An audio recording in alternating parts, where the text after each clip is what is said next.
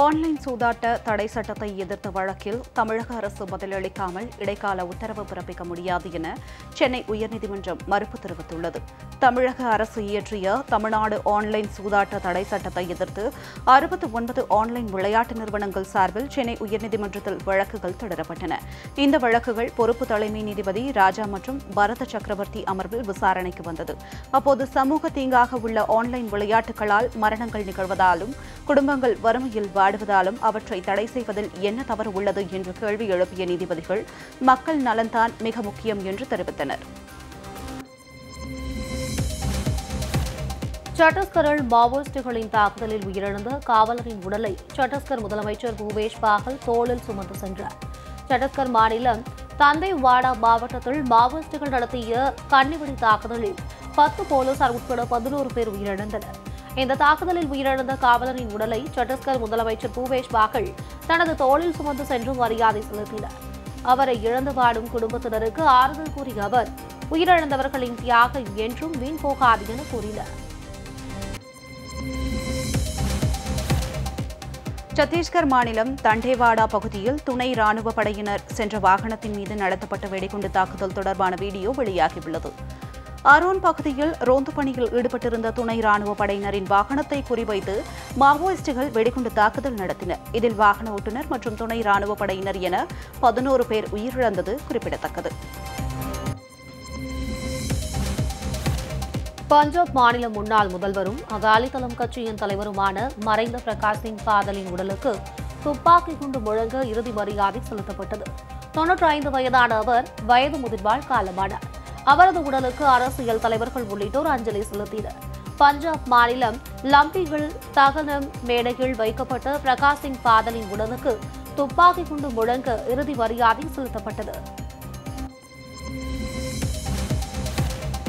சூடானில் இருந்து இருநூற்று தொன்னூற்றி ஏழு இந்தியர்கள் பத்திரமாக மீட்கப்பட்டுள்ளனர். உள்நாட்டு போர் மூண்டுள்ள சூடானில் இந்தியர்கள் உட்பட ஏராளமான வெளிநாட்டினர் உயிரிழந்தனர். இதனால் இந்திய கப்பல் படை கப்பல் மூலம் இருநூற்று தொன்னூற்றி ஏழு பேர் சவுதி அரேபியாவில் உள்ள ஜெட்டா துறைமுகத்திற்கு அழைத்து வரப்பட்டனர். இதே கப்பல் மூலம் ஏற்கனவே இருநூற்று எழுபத்தி எட்டு பேர் அழைத்து வரப்பட்டனர். இந்தியாவின் சுமேதா போர்க்கப்பல் மூலம் மீட்கப்பட்ட இந்தியர்கள் விரைவில் விமானத்தின் மூலம் சொந்த ஊர்களுக்கு அனுப்பி வைக்கப்படுவார்கள் என்று தெரிகிறது. கர்நாடக தேர்தல்களும் சூடு சூடுபிடித்துள்ள நிலையில் கட்சியில் ஏற்பட்ட அதிருப்தி காரணமாக மதசார்பற்ற ஜனதாதள கட்சி தலைவர்களான நாராயண கவுண்டா பிரபாகர் ரெட்டி ஆகியோர் காங்கிரஸில் இணைந்தனர். பெங்களூருவில் காங்கிரஸ் தலைவர் டி. கே. சிவகுமார் முன்னிலையில் இருவரும் காங்கிரஸில் இணைந்தனர். ஏற்கனவே பாஜகவில் ஏற்பட்ட அதிருப்தி காரணமாக ஜெகதீஷ் ஷெட்டர் காங்கிரஸில் இணைந்து தேர்தலில் போட்டியிடும் நிலையில் தற்போது மதசார்பற்ற ஜனதாதள கட்சி தலைவர்களும் காங்கிரஸில் இணைந்துள்ளது குறிப்பிடத்தக்கது. மத்திய அமைச்சர் அனுராக் தாக்கூர் கல்லூரி மாணவர்களுடன் சாலையோர தாபாவில் உணவு சாப்பிட்டார். ஹிமாச்சல பிரதேசம் சென்றுள்ள அவர் ஷிம்லா பகுதியில் உள்ள பல்கலைக்கழகத்தின் அருகில் உள்ள தாபாவுக்கு சென்றார். அங்கு மாணவர்கள் உள்ளிட்டோரின் கூட்டம் நிரம்பி வழிந்த நிலையில் தானும் மாணவர்களுடன் நின்றவாறு உணவருந்தினார். அவரை பார்த்ததும் எழுந்து நின்ற மாணவர்கள் இருக்கையை காட்டி அமர்வதற்கு இடம் அளித்தனர் எனினும் அனுராக் தாக்கூர் உள்ளிட்டோர் நின்றபடியே சாப்பிட்டனர். விற்பனையாளர் ஒருவர் பாவை தனது விரல் நுனியில் சுழற்றி அந்தரத்தில் பறக்கவிடும் வீடியோ காண்போரை வியப்பில் ஆழ்த்துகிறது. மெல்லிய வட்ட வடிவு மாவு சுருளை காற்றில் எரிந்து விளையாடும் அந்த நபர் இரண்டு கைகளிலும் லாபகமாக அதனை சுற்றி பார்வையாளர்களை ஆச்சரியப்பட வைக்கிறார். அவர் பாவை தனது விரல்களின் நுனியில் சுழற்றி சிரமமின்றி உடல் முழுவதும் அசைக்கிறார். இந்த வீடியோ தற்போது ஒன்பது மில்லியனுக்கும் அதிகமான பார்வையாளர்களை கடந்து இணையத்தில் வைரலாகி வருகிறது. உள்நாட்டுப் போரால் சூடான் நாட்டில் சிக்கி தவிக்கும் புதுச்சேரி மற்றும் தமிழகத்தை சேர்ந்தவர்களை பத்திரமாக மீட்க அனைத்து உதவிகளையும் மேற்கொள்ள வேண்டும் என மத்திய அரசுக்கு புதுச்சேரி துணைநிலை ஆளுநர் தமிழிசை சவுந்தரராஜன் கடிதம் எழுதியுள்ளார். இதுகுறித்து புதுச்சேரி ஆளுநர் மாளிகை வெளியிட்டுள்ள செய்திக்குறிப்பில் சூடானில் சிக்கி தவிக்கும் இந்தியர்களை மீட்க பிரதமர் நரேந்திர மோடி வழிகாட்டுதலின்படி ஆபரேஷன் காவிரி செயல்படுத்தப்பட்டு நூற்றுக்கணக்கான இந்தியர்கள் மீட்கப்பட்டு வருவதாக தெரிவிக்கப்பட்டுள்ளது. சர்ச்சைக்குள்ளான கேப்டன் மில்லர் திரைப்பட படப்பிடிப்புக்கு தென்காசி மாவட்ட ஆட்சியர் அனுமதி வழங்கியுள்ளார். நடிகர் தனுஷ் நடிக்கும் கேப்டன் மில்லர் திரைப்படத்தின் படப்பிடிப்பு தென்காசி மத்தளம் பாறை பகுதிகள் நடைபெற்ற நிலையில் பல்வேறு குற்றச்சாட்டுகளால் படப்பிடிப்பு நிறுத்தப்பட்டது. இதனையடுத்து வனத்துறை பொதுப்பணித்துறை தீயணைப்புத்துறை உள்ளிட்ட மூன்று துறையினரின் தடையில்லா சான்று கொடுக்க வேண்டும் என அதிகாரிகள் உத்தரவு பிறப்பித்தனர். தற்போது மூன்று துறைகளின் தடையில்லா சான்றிதழ்களையும் படக்குழுவினர் ஒப்படைத்த நிலையில் நாளை முதல் படப்பிடிப்பை நடத்த ஆட்சியர் அனுமதி வழங்கியுள்ளார். கேரளா பாலக்காடு வட்டப்பாறை பகுதியில் நேரிட்ட விபத்தில் டேங்கர் லாரியிலிருந்து கரியமில வாயு வெளியேறியதால் அப்பகுதியில் பெரும் பரபரப்பு ஏற்பட்டது. கஞ்சிக்கோட்டையில் இருந்து கோவை நோக்கி சென்ற டேங்கர் லாரியின் பின்புறம் மற்றொரு வாகனம் மோதியது. இதனால் டேங்கர் லாரியின் பின்புறம் உள்ள குழாய் வெடித்து லாரியிலிருந்து கரியமில வாயு வெளியேறியது. எரிவாயு கசிவு காரணமாக கோயம்புத்தூர் திருச்சூர் நெடுஞ்சாலையில் போக்குவரத்து தடை செய்யப்பட்டது. வெல்டிங் துறைகள் முன்னணி நிறுவனமான பிளானியர்ஸ் நிறுவனம் இந்தியாவில் முதன்முறையாக திறன் மேம்பாட்டு மையத்தை இன்று தொடங்கியது. சென்னை தொழில்நுட்ப கல்லூரி வளாகத்தில் பிளானியர்ஸ் நிறுவன இயக்குநர் வி. வி. காமத் மற்றும் சென்னை இன்ஸ்டிடியூட் ஆஃப் டெக்னாலஜி நிறுவனர் பா. ஸ்ரீராம் ஆகியோர் கலந்து கொண்டு திறன் மேம்பாட்டு மையத்தை தொடங்கி வைத்தனர். அதன் பின் பேட்டியளித்த பா. ஸ்ரீராம் இந்த மையத்தில் ஆண்டுக்கு ஐநூறு இளைஞர்களுக்கு வெல்டிங் தொழில்நுட்ப பயிற்சி இலவசமாக வழங்கப்பட்டு அவர்களுக்கு தொழில்துறையில் வேலைவாய்ப்பு வழங்கப்பட உள்ளதாகவும் தெரிவித்தார். தமிழகத்தில் மீண்டும் தலை தூக்கும் அரசியல் கட்சியினரின் பேனர் கலாச்சாரம் பொதுமக்களை முகம் சூளைக்க வைத்துள்ளது. சென்னை பல்லாவரத்தில் சாலையின் நடுவே வைக்கப்பட்ட பேனர் காற்றில் விழுந்த விபத்தில்தான் சுபஸ்ரீ என்ற இளம்பெண் உயிரிழந்தார். ஆனால் அந்த குற்ற உணர்ச்சி கொஞ்சம் கூட இல்லாமல் மீண்டும் மீண்டும் சாலை நடுவே பேனர் வைத்து அரசியல் கட்சியினர் விளம்பரம் தேடிக் கொள்வதாக பொதுமக்கள் குற்றம் சாட்டி வருகின்றனர். இதுபோன்ற ஆபத்தான பேனர் விழுந்து தங்கள் வீட்டில் ஒருவருக்கு விபத்து ஏற்பட்டால் எந்த கட்சியை கேட்டு இழந்த உயிரை மீட்பார்கள் என்றும் சமூக ஆர்வலர்கள் கேள்வி எழுப்புகின்றனர். சிவகங்கை மாவட்டம் கண்டரமாணிக்கம் கோவில் திருவிழாவை முன்னிட்டு நடைபெற்ற மஞ்சு விரட்டு போட்டியில் காலைமுட்டை பார்வையாளர்கள் இருவர் பலியாகினர். திருப்பத்தூர் அருகே கண்டரமாணிக்கம் கிராமத்தில் கோவில் திருவிழாவை முன்னிட்டு நடைபெற்ற மஞ்சு விரட்டில் இருநூற்று ஐம்பத்தி இரண்டு காளைகளும் எழுபது மாடுபிடி வீரர்களும் பங்கேற்றனர். இதில் கட்டுப்பாடுகளாக ஆங்காங்கே முன்னூறு மேற்பட்ட காளைகள் வயல்வெளிகளில் அவிழ்த்து விடப்பட்டதில் பார்வையாளர்கள் மற்றும் மாடுபிடி வீரர்களை காளைகள் முட்டியதில் முப்பத்தி ஒன்பது பேர் காயமடைந்தனர். மேல் சிகிச்சைக்காக திருப்பத்தூர் அரசு மருத்துவமனையில் எட்டு பேர் அனுமதிக்கப்பட்டனர். ஐஎஃப்எஸ் நிதி நிறுவனத்தில் முக்கிய தரகராக செயல்பட்ட மேலும் ஒருவர் கைது செய்யப்பட்டுள்ளார். வேலூரை தலைமையிடமாக கொண்ட ஐஎஃப்எஸ் நிதி நிறுவனம் மக்களிடமிருந்து ஆறாயிரம் கோடி ரூபாய் வரை சுருட்டி மோசடி செய்துள்ளது. இதில் ஏற்கனவே ஐந்து பேர் கைது செய்யப்பட்ட நிலையில் காஞ்சிபுரத்தை சேர்ந்த வெங்கடேசன் என்கிற இடைத்தரகரை பொருளாதார குற்றத்தடுப்பு பிரிவு போலீசார் கைது செய்துள்ளனர். வெங்கடேசன் காஞ்சிபுரம் பகுதியில் நூற்றுக்கணக்கான முதலீட்டாளர்களிடமிருந்து சுமார் நூறு கோடி ரூபாய் வரை பணம் வசூலித்து கொடுத்துள்ளார். தூத்துக்குடி மாவட்டத்தில் மணல் கொள்ளையை தடுக்கும் விதமாக புகார் செய்த விவசாயிக்கு இருபத்தி நான்கு மணி நேரமும் துப்பாக்கியுடன் போலீஸ் பாதுகாப்பு அளிக்கப்பட்டுள்ளது. கடந்த இரண்டாயிரத்தி பத்தொன்பதாம் ஆண்டு வல்லநாடு அருகே உள்ள அகரம் கிராமத்தில் நடைபெற்ற மணல் கொள்ளை குறித்து விவசாயி பாலகிருஷ்ணன் என்பவர் காவல் நிலையத்தில் புகார் அளித்துள்ளார். புகாரை அடுத்து அவருக்கு பல்வேறு கொலை மிரட்டல்கள் வந்த நிலையில் உயர்நீதிமன்ற மதுரை கிளையில் தனது உயிருக்கு பாதுகாப்பு கோரி மனு தாக்கல் செய்தார். இதனை அடுத்து விவசாயிக்கு இருபத்தி நான்கு மணி நேரமும் பாதுகாப்பு வழங்க உத்தரவிடப்பட்டது.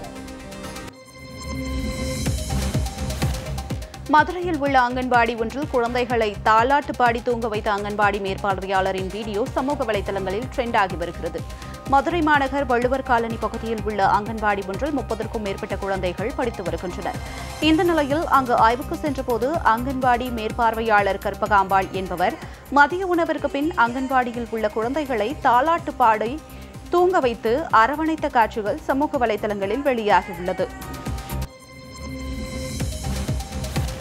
வால்பாறை ஊராட்சி ஒன்றிய தொடக்க பள்ளியில் மதிய உணவு சாப்பிட்ட மாணவ மாணவிகளுக்கு வாந்தி மயக்கம் ஏற்பட்டதால் பெரும் பரபரப்பு ஏற்பட்டது. ஸ்டான்போர்ட் சந்திப்பில் இயங்கி வரும் ஊராட்சி ஒன்றிய தொடக்க பள்ளிகள் மதிய உணவை சாப்பிட்ட இருபத்தி ஐந்திற்கும் மேற்பட்ட மாணவர்களுக்கு திடீரென வாந்தி மயக்கம் ஏற்பட்டது. தலைமை ஆசிரியர் கொடுத்த தகவலின் பேரில் பாதிக்கப்பட்ட மாணவர்கள் நூற்றி எட்டு ஆம்புலன்ஸ் மூலம் வால்பாறை அரசு மருத்துவமனையில் சிகிச்சைக்காக அனுமதிக்கப்பட்டனர்.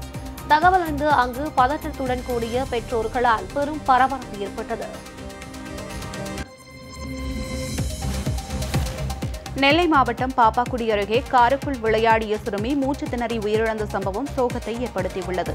பாப்பாக்குடி அருகே உள்ள பல்லாக்கல் புதுக்குடி கிராமத்தைச் சேர்ந்த கனகா என்பவரின் ஏழு வயது மகள் சரண்யா. அப்பகுதியில் நிறுத்தியிருந்த காரின் அருகே விளையாடிக் கொண்டிருந்ததாக கூறப்படுகிறது. வேலைக்கு சென்று வீடு திரும்பிய கனகா சிறுமியை காணாமல் தேடியபோது காருக்குள் மயங்கிய நிலையில் கிடந்தது தெரியவந்தது. பின்னர் மருத்துவமனையில் அனுமதிக்கப்பட்ட சிறுமியை பரிசோதித்த மருத்துவர்கள் ஏற்கனவே அவர் உயிரிழந்து விட்டதாக தெரிவித்தனர். சேலம் மாவட்டம் ஏற்காடு சாலைகள் ஆமை வேகத்தில் நடைபெறும் மலைப்பாதை சீரமைப்பு பணிகளால் சுற்றுலா பயணிகள் மற்றும் பொதுமக்கள் கடும் சிரமத்திற்கு ஆளாகியுள்ளனர். ஏற்காட்டில் கடந்த இரண்டாயிரத்தி இருபத்தி ஒன்றாம் ஆண்டு பெய்த கனத்த மழையால் இரண்டு மற்றும் மூன்றாவது கொண்டை ஊசி வளைவுகள் இடையே மண் சரிந்து போக்குவரத்து துண்டிக்கப்பட்டதால் மணல் மூட்டைகளை அடுக்கி போக்குவரத்து நடைபெற்றது. இந்த நிலையில் சாலை சீரமைப்பு பணிகள் தொடங்கி மூன்று நாட்கள் ஆன நிலையிலும் மண் மற்றும் பாறைகள் மட்டுமே அப்புறப்படுத்தப்பட்டுள்ளதால் சுற்றுலா பயணிகள் சிரமத்திற்கு ஆளாகி வருகின்றனர். திருப்பூர் மாவட்டம் காங்கேயம் அருகே சிறுத்தை நடமாடிய வீடியோ காட்சி வெளியானதால் பரபரப்பு ஏற்பட்டுள்ளது.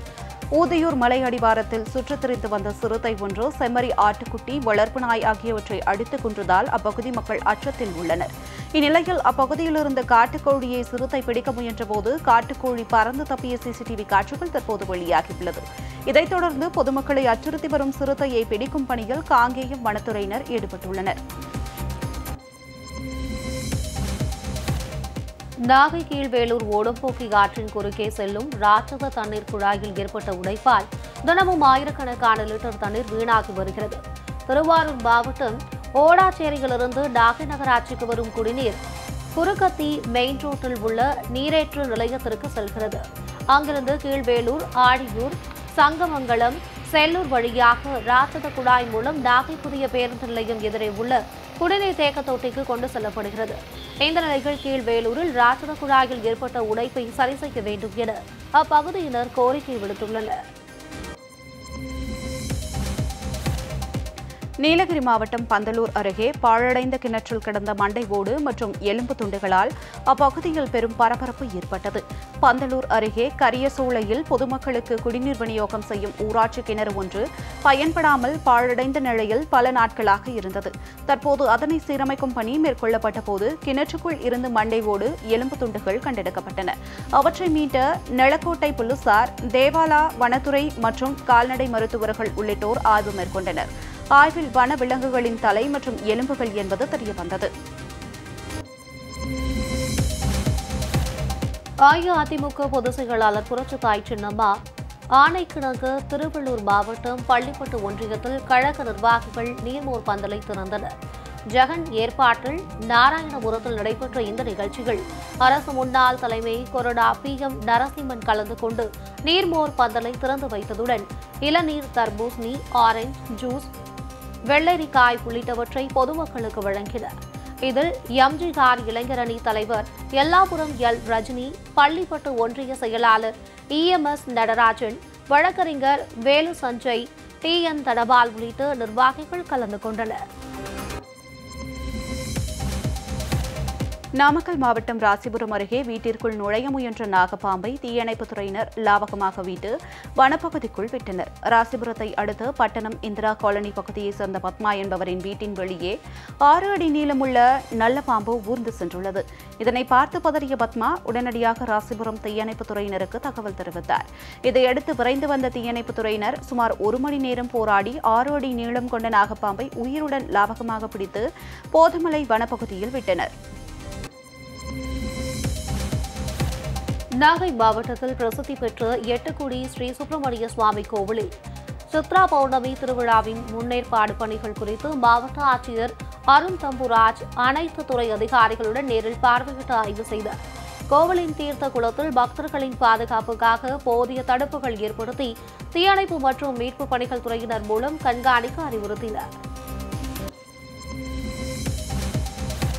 திருப்பூர் மாவட்டம் உடுமலை அருகே தொடக்க வேளாண் கூட்டுறவு சங்கத்தில் மூன்று கோடி ரூபாய் முறைகேடு தொடர்பாக கால்நடைகளுடன் விவசாயிகள் காத்திருப்பு போராட்டத்தில் ஈடுபட்டனர். விருகல்பட்டி தொடக்க வேளாண்மை கூட்டுறவு சங்கத்தில் பல்வேறு திட்டங்களில் சுமார் மூன்று கோடி ரூபாய்க்கு மேல் முறைகேட்டில் ஈடுபட்டதாக கூறப்படுகிறது. இதுகுறித்து பலமுறை முறையிட்டும் எந்தவித பலனும் இல்லாத காரணத்தால் ஆத்திரமடைந்த விவசாயிகள் நூற்றுக்கும் மேற்பட்டோர் தங்களது கால்நடைகளுடன் தொடக்க வேளாண்மை கூட்டுறவு சங்க அலுவலகத்தின் முன்பு காத்திருப்பு போராட்டத்தில் ஈடுபட்டனர்.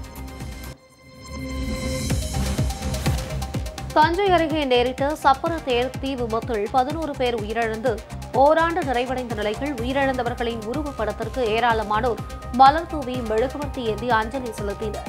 தஞ்சை அருகே கலிமேடு பகுதிகள் அப்பர் சப்பர விழாவின் போது உயர் மின்னழுத்த கம்பி உரசியதில் மூன்று சிறுவர்கள் உட்பட பதினோரு பேர் உயிரிழந்தனர். அதன் முதலாம் ஆண்டு நினைவு தினத்தையொட்டி தஞ்சை ரயில் நிலையம் முன்பு அவர்களின் திருவுருவப் படத்திற்கு மலர்கள் தூவி மெழுகுவர்த்தி ஏந்தி இரண்டு நிமிடம் மௌன அஞ்சலி செலுத்தப்பட்டது. வேகமாக ஓடும் நீரில் மீனை லாவகமாக பற்றி பிடிக்கும் கரடியின் வீடியோ காண்போரை வியக்க வைக்கிறது. ஓடு மீன் ஓட ஒரு மீன் வரும் அளவும் வாடி இருக்குமாம் கொக்கு என பொறுமைக்கு எடுத்துக்காட்டாய் கூறப்படும் இந்த மூதுரை பாடல் தற்போது கரடிக்கும் பொருத்தமாக மாறியுள்ளது. வேகமாக அடித்து செல்லும் ஆற்றின் கரையில் அமர்ந்திருக்கும் கரடி பொறுமையாக காத்திருக்கிறது. பின்னர் மீன் வந்த வேளையில் விரைவாக தன் கைகளை தண்ணீரில் அடித்து ஒரு மீனை பற்றி பிடிக்கிறது. இந்த வீடியோவை ஆனந்த் மஹிந்திரா தனது ட்விட்டரில் பகிர்ந்த நிலையில் இணையத்தில் வைரலாகி வருகிறது.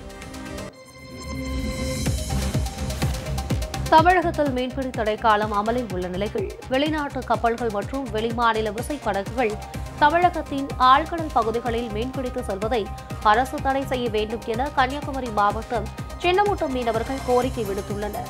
மீன்களின் இனப்பெருக்கத்திற்கான மீன்பிடி தடைக்காலம் கொண்டுவரப்பட்டுள்ள நிலையில் அந்த நோக்கமே சிதையும் வகையில் தடையை மீறி வெளிநாட்டு கப்பல்களும் வெளிமாநில விசை படகுகளும் நமது ஆழ்கடல் பகுதிகளில் மீன்பிடிக்க செல்வதாக சின்னமுட்டம் மீனவர்கள் குற்றம் சாட்டியுள்ளனர். மயிலாடுதுறை மாவட்டம் சீர்காழி சட்டநாதர் கோவிலில் காட்சிக்கு வைக்கப்பட்டுள்ள ஐம்பொன் சிலைகளை புதுச்சேரி சபாநாயகர் பார்வையிட்டார். திருக்கோவில் கும்பாபிஷேக பணிக்காக கடந்த பதினாறாம் தேதி மண் எடுப்பதற்காக கோவிலில் குழி தோண்டிய போது இருபத்தி மூன்று ஐம்பொன் சிலைகள் பூஜை பொருட்கள் மற்றும் நானூற்று பதிமூன்று முழுமையான தேவார பதிகம் பதித்த செப்பேடுகள் உள்ளிட்டவை கண்டெடுக்கப்பட்டன. பொதுமக்கள் பார்வைக்காக காட்சிக்கு வைக்கப்பட்டுள்ள இந்த சிலைகளை புதுச்சேரி சபாநாயகர் ஏம்பாலம் செல்லம் பார்வையிட்டார். கோவை மாவட்டம் ஆனைமலையில் விவசாய தோட்டத்திற்குள் புகுந்த காட்டு யானைகள் கூட்டம். அங்கிருந்த மரங்களை சேதப்படுத்தியுள்ளன கோடை வெயிலால் கடும் வறட்சி அடைந்துள்ள காட்டு பகுதிகளில் தண்ணீர் மற்றும் உணவு இன்றி வன விலங்குகள் அவ்வப்போது ஊருக்குள் புகுந்து பொதுமக்களை அச்சுறுத்தி வருகின்றன இந்த நிலையில் அங்கலக்குறிச்சி கோபால்சாமி மலை அடிவாரத்தில் தண்ணீர் தேடி வந்த நாற்பதற்கும் மேற்பட்ட யானைகள் விவசாய தோட்டங்களில் புகுந்து அங்கிருந்த மரங்களை சூறையாடின. இதனால் பாதிக்கப்பட்ட விவசாயிகள் தமிழக அரசு தகுந்த நிவாரணம் வழங்க வேண்டும் என்றும் வன விலங்குகள் தோட்டத்திற்குள் புகாதபடி நடவடிக்கை எடுக்க வேண்டும் என்றும் கோரிக்கை விடுத்துள்ளனர். சேலம் மாவட்டம் ஓமலூர் நகரில் அனுமதியின்றி செயல்பட்ட தோல் பதனிடும் மையத்திற்கு அதிகாரிகள் சீல் வைத்தனர். ஓமலூர் அம்பேத்கர் நகரில் சரபங்கா நதி ஓடும் நிலையில் முன்னாள் கவுன்சிலரின் மகன் சசிகுமார் என்பவர் தோல் பதனிடும் மையம் நடத்தி வந்தார். இதனால் துர்நாற்றம் வீசுவதுடன் சுற்றுச்சூழலும் மாசடைவதாக அப்பகுதி மக்கள் குற்றம் சாட்டினர். குடியிருப்பு பகுதியில் தோல் பதனிடும் மையத்திற்கு அனுமதி இல்லை என்றும் மாற்று இடமும் இல்லை என்றும் கூறி பேரூராட்சி கூட்டத்தில் தீர்மானம் நிறைவேற்றப்பட்டதை அடுத்து பேரூராட்சி செயல் அலுவலர் மற்றும் அதிகாரிகள் தோல் பதனிடும் மையத்திற்கு சீல் வைத்தனர். புதுச்சேரிகள் மத்திய அரசை கண்டித்தும் உச்சநீதிமன்ற தீர்ப்பை முழுமையாக அமல்படுத்த கோரியும் மத்திய அரசின் ஓய்வூதிய சங்கத்தினர் போராட்டத்தில் ஈடுபட்டனர். குறைந்தபட்சம் ஒன்பதாயிரம் ரூபாய் ஓய்வூதியம் வழங்க வேண்டும் ஓய்வூதியர் அனைவருக்கும் இஎஸ்ஐ மூலம் இலவச மருத்துவ சிகிச்சை வழங்க வேண்டும் என்பன உள்ளிட்ட கோரிக்கைகளை வலியுறுத்தி ஓய்வூதியர்கள் போராட்டம் நடத்தினர். மத்திய அரசை கண்டித்து ஓய்வூதியர்கள் மணி அடித்து கவன ஈர்ப்பு போராட்டத்தில் ஈடுபட்டனர். நாகர்கோவில் வடச்சேரி சந்திப்பில் இருசக்கர வாகனத்தில் வந்த நபர் மீது அரசு பேருந்து மோதி விபத்துக்குள்ளான காட்சி வெளியாகி வைரலாகி வருகிறது. சரளூரை சேர்ந்த ரத்தினசாமி என்பவர் புத்தேரி செல்வதற்காக வடச்சேரி சந்திப்பில் இருசக்கர வாகனத்தில் சென்றபோது நாகர்கோவிலில் இருந்து காட்டுப்புதூர் செல்லும் அரசு பேருந்து அவர் மீது மோதியது. இதில் ரத்தினசாமி தூக்கி வீசப்பட்டு படுகாயத்துடன் சிகிச்சைக்காக மருத்துவமனையில் அனுமதிக்கப்பட்டார். இருசக்கர வாகனம் பேருந்தின் அடியில் சிக்கிய நிலையில் போலீசார் வழக்கு பதிவு செய்து விசாரணை நடத்தி வருகின்றனர். யானைகள் தனது பாதுகாவலரை கண்டதும் அரவணைத்து அன்பை செலுத்தும் காட்சிகள் காண்போர் முகத்தில் புன்னகையை வரவழைக்கும் வகையில் உள்ளது. யானைகளை சிறுவயதில் வளர்த்த ஒரு நபர் நீண்ட நாட்களுக்கு பின்னர் வந்து அந்த யானை கூட்டத்தை நோக்கி தனது கைகளை அசைக்கிறார். அவரை கவனித்த நான்கு யானைகள் ஓடி வந்து தும்பிக்கையால் அவரை கட்டி அணைத்துக் கொள்கின்றன. யானைகள் கூர்மையான நினைவாற்றல் கொண்ட விலங்குகள் என்பதை பறைசாற்றும் வகையில் உள்ள இந்த வீடியோ தற்போது இணையத்தில் வைரலாகி வருகிறது. ஈரான் நாட்டின் அதிகாரமிக்க மத தலைவராக திகழ்ந்த அயதுல்லா அபாஸ் அலி சுலைமான் சுட்டுக் கொல்லப்பட்டார். வங்கி ஒன்றிற்கு தனது சொந்த வேலைகளை மேற்கொள்ள சென்றபோது அந்த வங்கியின் பாதுகாவலர் அவர் மீது துப்பாக்கிச்சூடு நடத்தியது தெரியவந்துள்ளது. இருப்பினும் துப்பாக்கிச்சூட்டுக்கான காரணம் எதுவும் தெளிவாக தெரியவில்லை. ஷியா பிரிவு இஸ்லாமிய தலைவராக விளங்கிய அயதுல்லா அப்பாஸ் அலி சுலைமான் அந்நாட்டின் அதிகாரமிக்க வல்லுநர்கள் அவையில் உறுப்பினராகவும் பதவி வகித்தார். அவர் சுட்டுக் கொல்லப்பட்டது ஈரான் முழுவதும் பெரும் அதிர்வலைகளை ஏற்படுத்தியுள்ளது.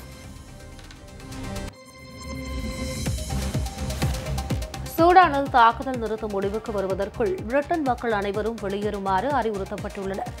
இதற்காக ஆறு போர் விமானங்கள் அனுப்பி வைக்கப்பட்டுள்ளதாகவும் பிரிட்டன் அரசு தெரிவித்துள்ளது. உலக நாடுகளின் கோரிக்கையை ஏற்று கடந்த திங்கட்கிழமை நள்ளிரவு முதல் மூன்று நாட்களுக்கு அறிவிக்கப்பட்ட தாக்குதல் நிறுத்தம் இன்று நள்ளிரவு முடிவுக்கு வருகிறது. இதற்கிடையே தாக்குதல் நிறுத்தத்தை மேலும் நீட்டிப்பது குறித்த விருப்பத்தை ராணுவம் தெரிவித்துள்ள நிலையில் அதற்கு துணை ராணுவம் எந்த யுக்ரைன் மீது ரஷ்யா தாக்குதலை தொடங்கிய போது ஆயிரக்கணக்கான ராக்கெட் லாஞ்சர்களை ஏவும் வசதி இருந்த நிலையில் தற்போது கடும் ஆயுத பற்றாக்குறையில் யுக்ரைன் ராணுவம் தவிப்பதாக தகவல்கள் வெளியாகியுள்ளது. யுக்ரைன் மீது ரஷ்யா தாக்குதல் நடத்தும் என்ற அச்சம் ஏற்பட்டவுடனே அந்நாட்டு ராணுவம் போர் வீரர்கள் மற்றும் ஆயுதங்களை குவிக்க ஆரம்பித்தது. இந்நிலையில் டொனட்ஸ் பகுதியில் உள்ள பாக்மூத் மற்றும் பல இடங்களில் போர் புரியும் வீரர்கள் தங்களிடம் போதுமான எண்ணிக்கையில் ஆயுதங்கள் இல்லை என்றும் இந்த நிலை மேலும் மோசமடையும் ஆபத்து இருப்பதாகவும் கவலை தெரிவித்துள்ளனர். மேற்கத்திய நாடுகளின் உதவிகளும் தற்போது குறைந்துவிட்டதாக தகவல்கள் வெளியாகியுள்ளது. பைக்கை வைத்து நெருப்பில் சாகசம் காட்டிய இளைஞர்களின் முகம் கருகிய வீடியோ இணையத்தில் வைரலாகி வருகிறது. நெருப்பையும் வாகனத்தையும் வைத்து சாகசம் செய்ய இளைஞர்கள் குழு ஒன்று முயற்சித்தனர். வாகனத்தை நிறுத்தியவாறு சக்கரத்தை இயக்கிய இளைஞர்கள் அதிலிருந்து நெருப்பு வர வைத்து விளையாடுகின்றனர்.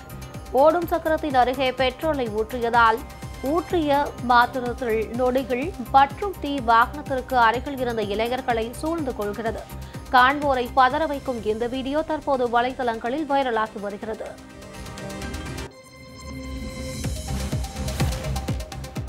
சென்னை சேப்பாக்கத்தில் நடைபெறவுள்ள சென்னை பஞ்சாப் அணிகளுக்கு இடையேயான போட்டியின் டிக்கெட்டுகளை பெற ஏராளமான ரசிகர்கள் குவிந்தனர். சேப்பாக்கம் மைதானத்தில் வரும் முப்பதாம் தேதி சென்னை பஞ்சாப் அணிகளுக்கு இடையேயான போட்டி நடைபெறவுள்ளது. இப்போட்டிக்கான டிக்கெட் விற்பனையின் தொடங்கியது முதல் ஏராளமான ரசிகர்கள் நீண்ட வரிசையில் காத்திருந்து டிக்கெட்டுகளை வாங்கிச் சென்றனர். அப்போது பெண்களுக்கான வரிசையில் தள்ளுமுள்ளு ஏற்பட்டு பெண்களுக்கு இடையே தகராறு ஏற்பட்டது. கொல்கத்தா நைட் ரைடர்ஸ் அணியின் தொடக்க ஆட்டக்காரர் ஜேசன் ராய்க்கு போட்டி கட்டணத்தில் பத்து சதவீதத்தை பிசிசிஐ அபராதம் விதித்தது. பெங்களூரு சின்னசாமி மைதானத்தில் நடைபெற்ற ஐபிஎல் போட்டிகள் பெங்களூரு அணிக்கு எதிரான ஆட்டத்தில் கொல்கத்தா அணி வீரர் ஜேசன் ராய் இருபத்தி இரண்டு பந்துகளில் அரை சதம் அடித்து அசத்தினார். ஐம்பத்தி ஆறு ரன்கள் எடுத்த நிலையில் பெங்களூரு வீரர் விஜயகுமார் வைஷாக் வீசிய யார்கரில் ஆட்டமிழந்தார். இதில் விரக்தியடைந்த ஜேசன் ராய் பெவிலியனுக்கு திரும்பிய போது மட்டையை காற்றில் வீசியதோடு ஸ்டம்ப் பெயிலை தனது பேட்டால் அடித்தார். இதன் மூலம் ஐபிஎல் நடத்தை விதிகளை மீறியதற்காக ராய்ஸிற்கு ரோட்டி கட்டணத்தில் பத்து சதவீதம் அபராதமாக பிசிசிஐ விதித்தது.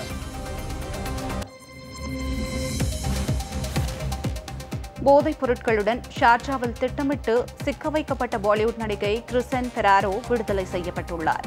பாலிவுட் நடிகை கிறிசன் ஃபெரேரா கடந்த ஒன்றாம் தேதி ஷார்ஜாவுக்கு சென்றபோது போதைப் பொருள் வைத்திருந்ததாக விமான நிலையத்தில் கைது செய்யப்பட்டார். அவர் கொண்டு சென்ற டிராபியில் போதைப்பொருள் அவருக்கு தெரியாமல் வைக்கப்பட்டிருந்ததாக கூறப்படுகிறது. அவரது டிராஃபியில் போதைப்பொருள் வைத்தது யார் என்பது குறித்து மும்பை போலீசார் விசாரித்து வந்தனர். விசாரணையில் கிருஷனின் தாயாரை பழிவாங்கும் நோக்கத்தில் கிறிசன் பெராரா எடுத்து சென்ற டிராபியில் போதைப் பொருளை வைத்து அனுப்பியது தெரியவந்தது. இதையடுத்து ஆண்டனி பால் அவரது நண்பர் ராஜேஷ் ஆகியோர் கைது செய்யப்பட்டனர்.